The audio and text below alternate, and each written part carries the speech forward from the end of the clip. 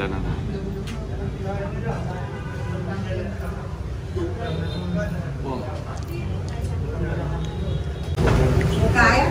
rất ngon mọi người. Nó nóng giòn giòn chấm với nước nè chỉ còn một chút nè một chút đó, cái đậu đủ màu xanh đó. Khỏi bún rồi. Tôi bạn đứng đứng nước ăn chả giò ngoài, trong mình nói trong nam mình nó chả giò, ngoài này gọi là nem rán ăn sáng với lại ăn trưa kết hợp chung một bữa đó là bún chả thì bây giờ hai vợ chồng tiếp tục lang thang đến uh, hàng. Vừa nãy là trên đường từ bác đàn đi qua đây là thấy có một chỗ bán chè rất là ngon. Nhìn có vẻ hấp dẫn cho nên là thôi giờ ăn xong rồi mình đi ăn chè thử nha. Ăn chè xong mình uh, đi uống cà phê. Đúng rồi. Ăn chè uống cà phê. Xong rồi à, đi bộ đi bộ cho nó nó, nó, nó, nó tiêu hết. Nó tiêu hết xong rồi là mình sẽ à, là đi ăn. Đâu đó tiếp. Hồi nãy á bún chả ở hàng mành á theo phi nhận thấy thì nó cũng khá là ngon. Nhưng mà chỉ có điều là nước mắm ở ngoài đây làm thì có vẻ là hơi lạc lạc, hơn so với lại cái khẩu vị của Việt Nam ăn tương đối là ok. Đây. vì bây giờ cũng đói quá rồi. Đây đây bây giờ tới quán uh, chè này đấy. Cái quán chè đây quán chè này nằm ở ngay góc hàng hàng thiết với lại uh, bát đàn. Đúng rồi đây nó ở đây. Chè rồi vô ăn nha. Vô ăn thôi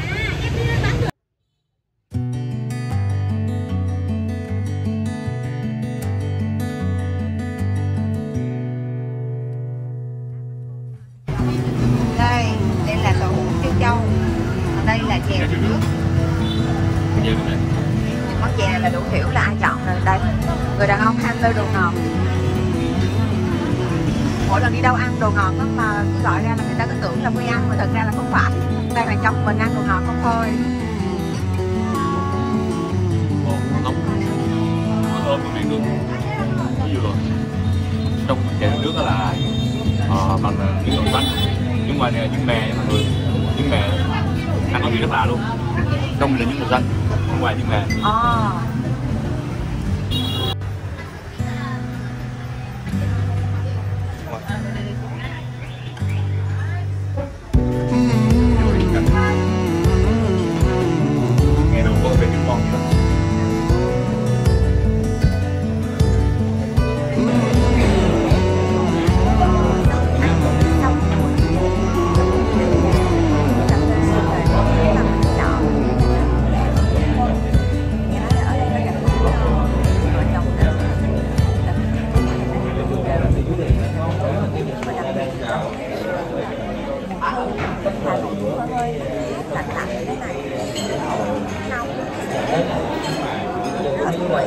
Đấy thì chúng mình tu đó một mình gọi bên đầu là gọi là cà phê trứng đá đây là trứng đá. Trước là nóng nhưng mà ở đây có phê trứng đá. Thì mình không phải là mình nói là cái gì chứ còn bây giờ ai cấm nữa đâu? Trứng thành với cà phê trứng đá. Chứ không nói là ví dụ cá nhân của mình thấy trứng đá này nghĩ là do với cái khẩu vị của mình nó nhạt hơn so nhưng mà vẫn cảm giác là nó hơi hơi tanh tanh không, nếu mình mình uống nóng sẽ ngon hơn. Cho nên mình không uống tiếp tục nữa mặc dù nó cũng rất là ngon nhưng mà mình đã đổi qua cái món này thì thấy mọi người gọi cũng rất là hấp dẫn đó chính là ca cao tiếng đây là mình hấp chưa Đây không phải là tuyệt vời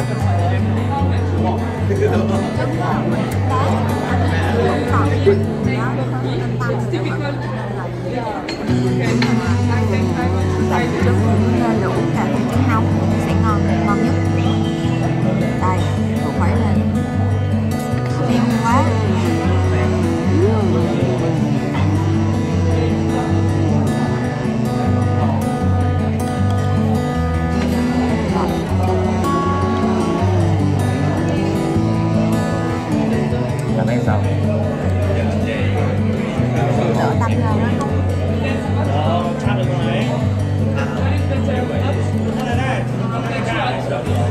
Uống nóng thì nó sẽ ngon hơn.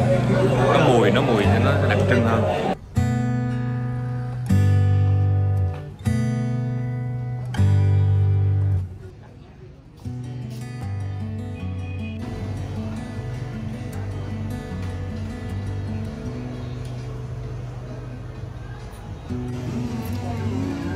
Sau khi ghé ờ, phủ Tây Hồ rồi thì lời khuyên dành cho các bạn là cũng đừng quên ghé qua một trong những cái hàng quán ở quanh đây để mà ăn bún ốc bởi vì khi mà các bạn đi vào phủ Tây Hồ thì sẽ thấy là dọc hai bên đường ngoài việc là người ta bán những cái đồ để mà uh, cúng lễ ra thì sẽ có rất là nhiều quán bún ốc. Nó giống như là một một trong những cái món đặc sản của khu vực này vậy. Ngoài bún ốc thì mình thấy là có cả bánh tôm nữa. À, và quán mà vợ chồng mình lựa chọn để ghé vào ngày hôm nay đó chính là quán Ngâm Thuyền bởi vì được uh, người bạn anh Tuấn giới thiệu là quán ăn rất là ngon. Và để vào thử xem là bún ốc ở trong đây như thế nào mọi người nhé. Rồi và quán thì vợ chồng mình đã gọi một tô bún ốc cua với lại một phần bánh hột lòng. Bánh hột lòng này thì người đàn ông này thích. Với lại ở đây người ta có đưa thêm một cái dĩa bánh tôm không biết là cái này.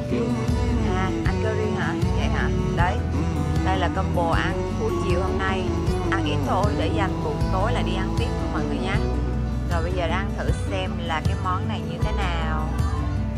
Rồi, Xem anh Tuấn cảm nhận như thế nào về bánh bột lọc ở đây nha.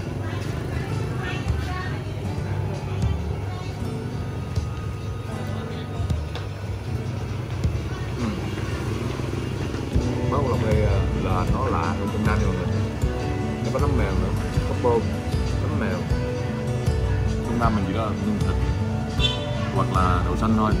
Mà này có tôm với nấm mèo rồi ăn nó cũng uh, cái kiểu như là đây không phải bánh lọc.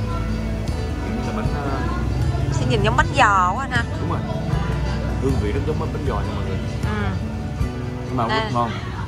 Cái vỏ bánh á, nhìn nó, nó dạng như là vỏ bánh trong này chứ bánh bột lọc Ủa bánh bột lọc ở trong mình là cái vỏ bánh có trong không? Dạng nó hơi, đục đục một xíu nó đúng không? hơn. Ừ. lọc ở trong á nó đục đục hơn. Đây một là một ăn ngon lạ. Thứ nữa này có được bánh tôm bánh bánh à, tôm này. Mà giống bên trong bên trong mình gọi là bánh cống hay sao?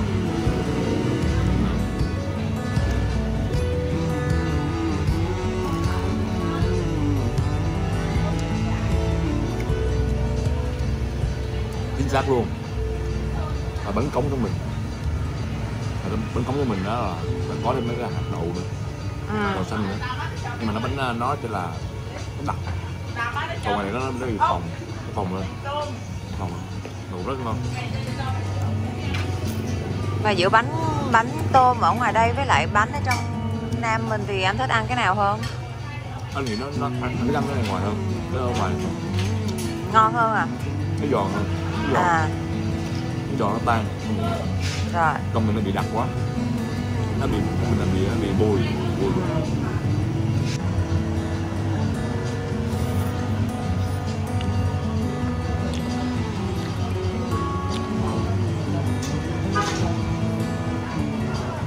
mày cảm thấy sao Quan trọng là tại vì sợi bún á thì nó cũng giống như cơm mình thôi, không có khác gì hết á. Nhưng mà cái nước, nước dùng ở ngoài đây á mình á, thì làm cái gì nó cũng sẽ hơi đậm đà hơn một chút. Ở ngoài này cảm giác là hơi nhạt nhạt hơn của người ta không có ăn ngọt. Ừ. Không ăn quá mặn còn nam thì khẩu vị như là khẩu vị